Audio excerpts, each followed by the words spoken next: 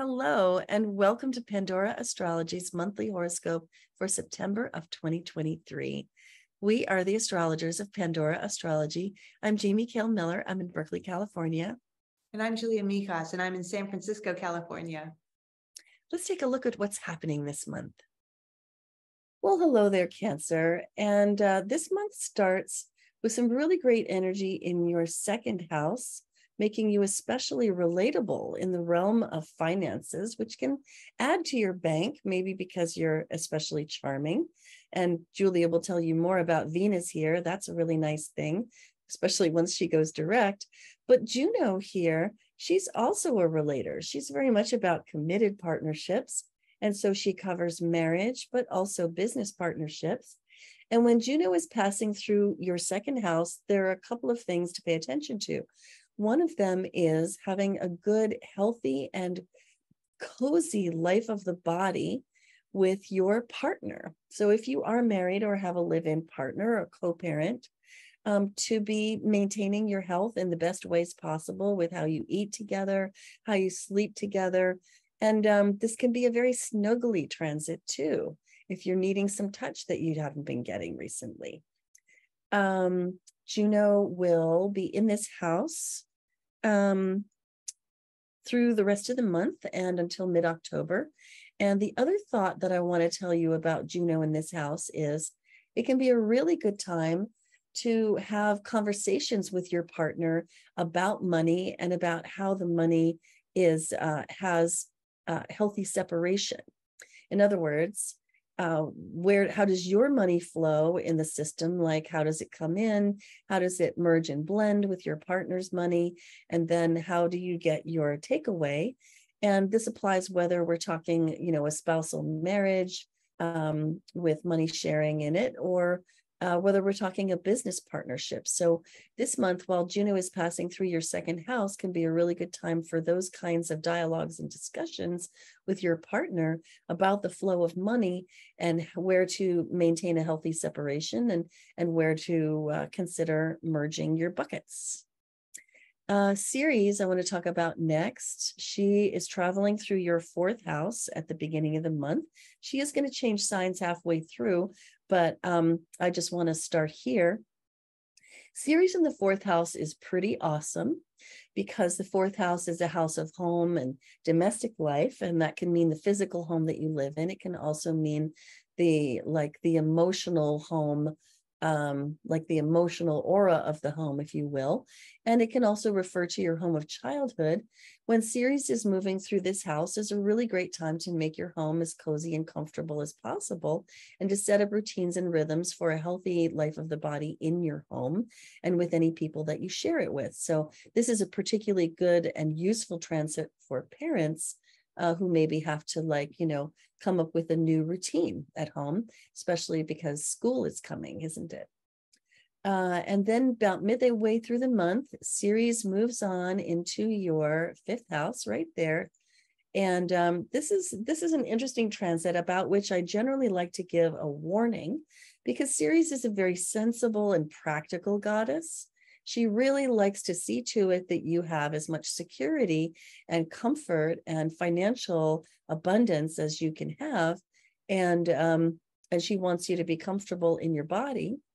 And she does bring this practical sensibility wherever she goes, but the fifth house is very, very different from that in its themes. This is a house of fun and play. And if there's anything that Ceres likes in this house, it's luxury purchases. So, buying the most elegant, the most grand version of whatever you might be wanting right now. And so, this is the time when you might feel very pulled to shop for like that luxury car that you've been wanting, or to at least make a vision board about it. And there's certainly no harm in that. But uh, I do, I do want to warn you that the, uh, there is some risk with Ceres passing through this house of things like, you know, foolish gambling, spending more than you had to, buying something because you think that the um, uh, the price is a reflection of the value, and then discovering that maybe you didn't get the value that you wanted. So I think that Ceres needs to bring her practical um, skepticism when traveling through this house. Uh, it can also signal shopping as recreation, um, and that can certainly be attended by, you know, uh, regret later on. Um, Ceres is going to pass through this house for the rest of the month and into next month. Now, Jupiter starts the month in your 11th house. And this is where he's spending the year. And Jupiter is a luck bringer. Jupiter brings enthusiasm and uh, playfulness and growth and expansion and a sense of the possibilities and uh, and the far horizons in any given area. Jupiter is passing through your 11th house this year, which means that you might want to expand on your social circles. You might find yourself especially enjoying and feeling expanded when you're hanging out with friends, uh, when you're building community. You might find yourself discovering a whole new tribe and feeling a sense of belonging that you haven't felt before. And those things can be wonderful, feel good, and also be growthful. I do want to say that Jupiter is going retrograde fairly early in the month. There it is. Jupiter retrograde right here in your 11th house. And when Jupiter goes retrograde, it happens every year and it lasts for a couple of months. and the day, right around the day that Jupiter turns retrograde, can be a real turning point in your growth process. So it may be, for example, that as Jupiter moved into this house uh, in the last couple of months, that you've been expanding in your social circles and like discovering new people and new friends and so forth. And it may be that you're kind of caught short when Jupiter goes retrograde and you're asking yourself, does this group or person really make me feel expanded? Is this a place for me to grow? Do I feel like I belong here? Or do I need to keep wandering about the landscape and searching for that ideal community? So there can be a bit of restlessness when Jupiter goes retrograde. Uh, hey, Julia, what's up with Venus, Mercury, and Mars for the Cancers? Hey there, Cancer. So the good news is Venus is going to go direct very early this month on the 3rd. She's been retrograde for a number of weeks now. So this summer has been a time of relationship review for us all because that's what we all do when Venus moves backwards in the sky. It happens about once every two years. So Venus starts off the month retrograde in your second house. So that means you'll be thinking of your relationship in terms of second house stuff. This is the house of money, it's the house of possessions, and it is the house of values. That can be anything from political values, religious values, family values.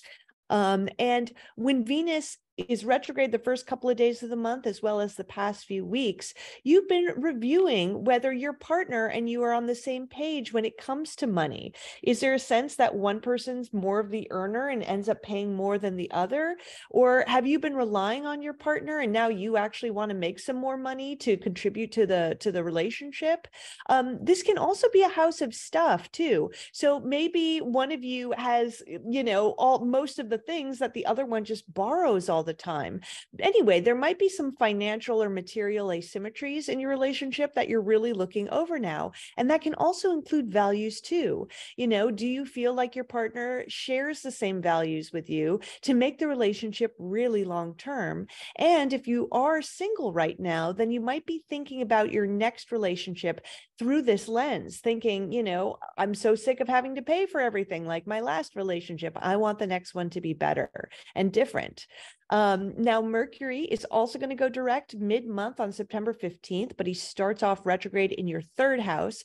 So, Mercury represents speech, learning, communication. Uh, and that's what the third house is all about, too. And we all know that Mercury retrogrades can be times of miscommunication. This is going double for you this month, Cancer, because Mercury is retrograde in the house of communication. So, you know, just it might be kind of a frustrating cycle in terms of trying to get your point across across to other people, or maybe some misunderstandings really just kind of make things squirrely and unravel things in your life. Um, so just try to be patient with communicating during this time. Um, and on September 6th, Mercury is going to conjoin the sun while going backwards. We call that Lesser Epiphany Day. This is a time of insights into, and revelations in your life So you could have some insights into the miscommunications that have been taking place. This is also the house of neighbors and your siblings. So maybe there's some insights happening around those areas of your life too. It's also the house of writing. This might be a time if you're working on writing where you've been having to go back over a lot of your work. And Mercury conjoining the sun might actually kind of help shed some light on what's going on. Then by September 15th, Mercury goes direct, and that's going to start slowly making communications a lot better in your life. Finally, Mars, Mars, the planet of action and activity, also the planet of passion and anger, is in your fourth house all month. So, the fourth house, this rules your family, including parents. It's your physical home where you live, you know, and it's also the past too. And when Mars goes through this house, first it can mean that whatever annoys you this this month, it might most likely come from your past in some way. You know, something that happened a long time ago that's still kind of irritating you now, even if you thought you'd gotten over it. Uh, Mars in the fourth house can also bring up conflict, you know, with the people you live with, also with parents as well, um, anybody you share your home with, essentially. Um, now, Mars in the fourth can be fabulous when it comes to having to do a lot of work at the house. So if you are, you know, zooming in from a home, a uh, great time to just get a lot of work done, uh, as well as if you have a lot of projects around the house too. Mars in the fourth can really give you the energy that you need to get a lot of stuff done. Mm, good stuff. Hi, Jamie here. Horoscopes and moon videos are fascinating, but they're also not personalized for you. That's why we run live workshops monthly where you can get answers about your own chart. This month's topic is optimizing Mercury retrograde for writers, managers, and learners. Mercury retrogrades are notorious for making a mess of your office, your paperwork, your projects, and your brain. But it doesn't have to be that way. In this workshop, I'll explain how to handle this difficult transit just in time for back to school. This workshop is expressly for our Demigod Patreon subscribers who pay only $15 a month for access to live events like this one. It's easy to sign up at the Patreon link in the description below. I'd love to see you there. Now let's get back to the video. Well, I want to tell you about a couple of moons. The first one is happening on the 14th. It's a new moon in Virgo right here in your third house. And new moons are good times to plant seeds. This one in particular, we're calling Seeds of Selfless Service because it is in Virgo. And, uh, and it opposes Neptune right here. So there's this balancing act going on between wanting to be of practical use versus wanting to also bring in the kindness, the compassion, the um, very not practical, but still meaningful warmth. And um, this moon is landing in your third house, which is a really great place for brainstorming, ideas, communications, and relating with those right around you uh, siblings, neighbors, uh, people in your neighborhood, housemates. And so this can really plant the seeds of some great conversations where you find that by making yourself useful to the people right around you that you plant some seeds that can come to fruition later on in the future at some undetermined time where that good karma comes back to you. And it can make your neighborhood and your home feel really good to be in um, we call that paying paying forward, or we call it doing anonymous good, and that is some pretty great stuff. The second moon that I want to tell you about this month is happening on the 29th. And it's a full moon in Aries. So the moon itself is right here in Aries in your 10th house. Full moons tend to have a big energy, a lot of emotion with them uh, especially when they fall in a fire sign, as this one does. Now, the moon in Aries can be pretty hasty and impulsive. It can be pretty driven and pretty pushy.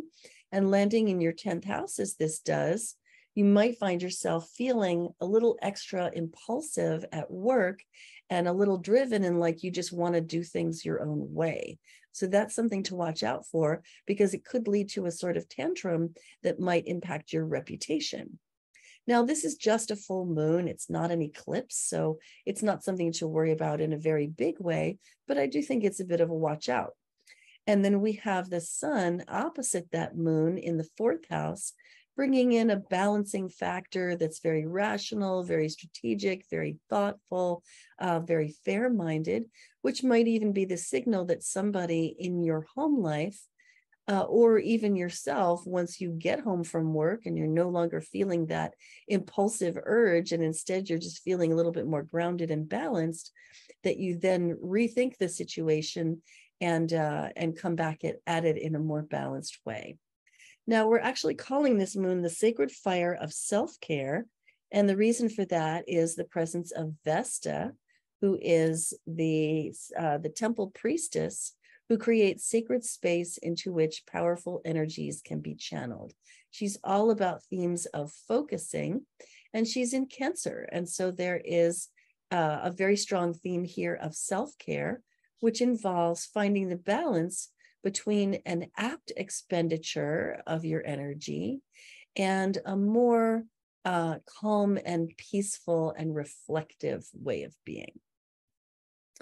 So, over the course of the month, as you can see, towards the beginning of the month, we have uh, quite a bit of energy in your second house, bringing the focus to finances, most particularly your own personal finances. And then, about halfway through the month, we have uh, energies gathering in your third house, like uh, like this, the third house, where um, a lot of the energy and attention is on your life of the mind and the people around you every day that you communicate with, uh, neighbors, siblings, um, friends, neighborhood, uh, but also communication itself. Lots of emphasis on that mid month. And then towards the end of the month, there is a general migration of planets over here into your fourth house. And um, this is the seasonal change I'm talking about. So the sun leaves your third house, moves into your fourth house on September 23rd.